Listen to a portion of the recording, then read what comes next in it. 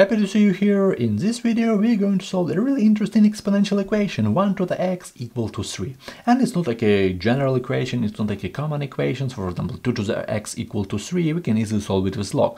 But right here we all know that doesn't matter what the power, 1 to the power 100, 1000, this is equal to 1 all the time. But right here we have 3, which is really tricky and really interesting moment.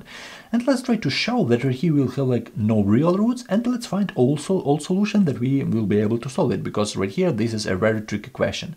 So first of all, let's take natural log on both sides. So natural log 1 over 1 to the power x on the left equal to natural log 3 on the right. Yeah, so we find these natural logs on both sides. And let's bring this x right here because this is main log property. That's why we of course uh, apply log on both sides. So x times natural log 1 equal to natural log 3. Natural log 3. Okay, let's divide both sides by this natural log 1 because this is a constant. Let's divide, so x equal to natural log 3 over natural log natural log 1, yeah? And we all know that natural log 3, this is some constant, I don't know exactly the value of this natural log 3, this is a constant, which is really good, but natural log 1 equal to 0, so we cannot divide by 0, so no real, no real, real solutions right here, no real solutions right here, no real roots if you're talking about roots. So no real roots. What about complex roots? How can you find in this expression, how can you find complex roots? 1 to the x equal to 3. What about these imaginary roots? I want to start with this Euler's identity right here once more. So we have e to the power i times theta, this is Euler's identity, equal to cosine theta plus i times sine theta. This is our Euler's identity and we need to know it. We are going to solve it according to Euler's identity. And let's check this identity real quick. If theta, for example, equal to 0. If theta equal to 0, so we will have like e to the power i times 0 equal to cosine 0 plus i sine 0, which is absolutely correct. This is equal to 1 and this is equal to 1 as well. This is equal to 0. So Euler's identity is good. We just check Euler's identity. Okay, but right now I want to start with substitution because we need to write this complex variable right here. And let's work with, with an angle. We have this complex variable right here. And if we're talking about an angle, let's write this angle right here. So theta equal to 2k pi. Let's work with this 2k pi when k is integer, so k is z. If k is z, so we have k equal to 1, 2, 3, and a lot of integers numbers. So this is maybe main important step. So the first step is this Euler's identity, as I told before, and the second step is this substitution. So theta equal to 2k pi. This is really important step right here in our case. Because if theta equal to 2k pi, instead of this expression, we will have like e to the power e to the power i times 2k pi equal to cosine. Instead of theta we have like 2k pi and plus i times sine 2k pi okay? So we just change this theta by 2k pi. I hope you understand this step. And right now let's go with these special cases. Let's see what about this expression. So we have like k equal to 1 2 3 so let's start. For example for k equal to 1. If k equal to 1, we will have this expression. So instead of k, we plug in 1. So e to the power i times 2 pi equal to cosine 2 pi plus i sine 2 pi. Yeah, and let's look. We, we all know uh, cosine 2 pi and sine 2 pi, so let's look a little bit about it.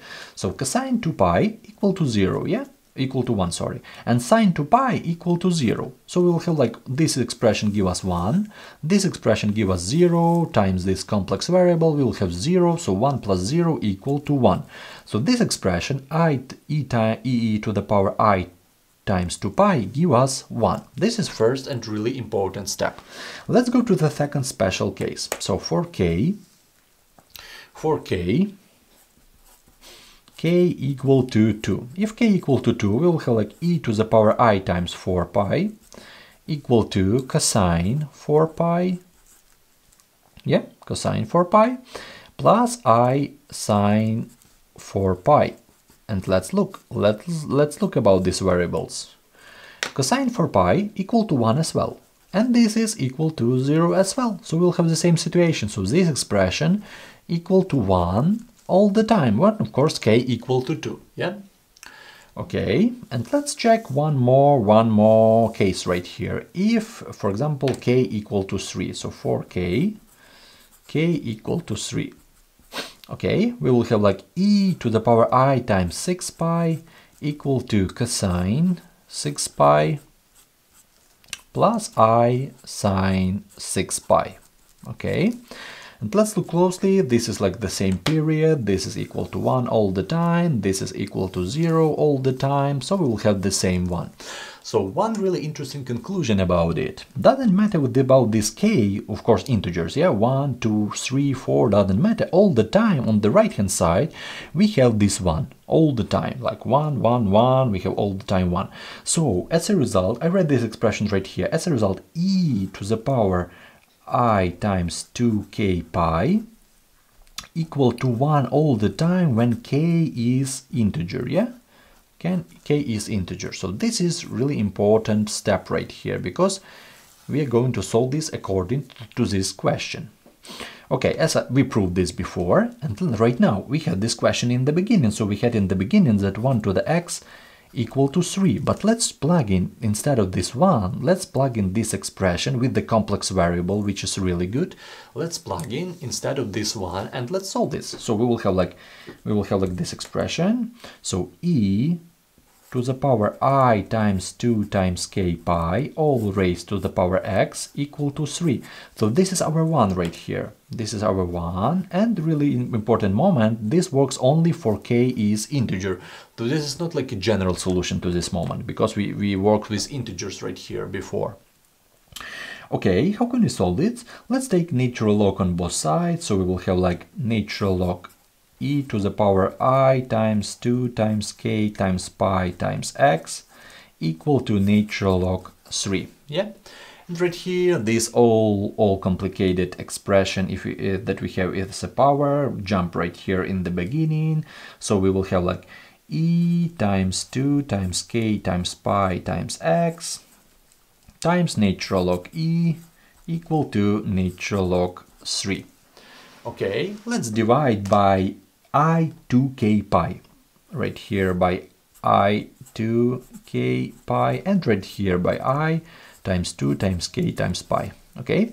I 2k pi and i 2k pi so only our x right here this is equal to 1 so as a result our root will be the next. So our x will be equal to natural log 3 over i times 2 times k times pi.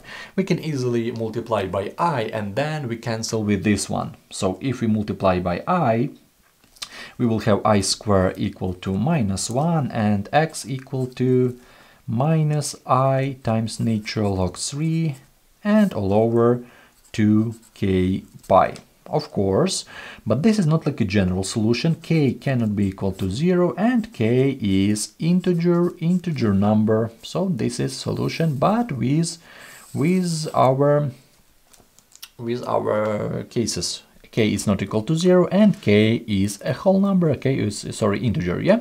So this is our solution to this problem with a complex variable, which is really important for us because as you can see, as I told before, we cannot find real solution. Yeah, no real solution, so only with Euler's identity.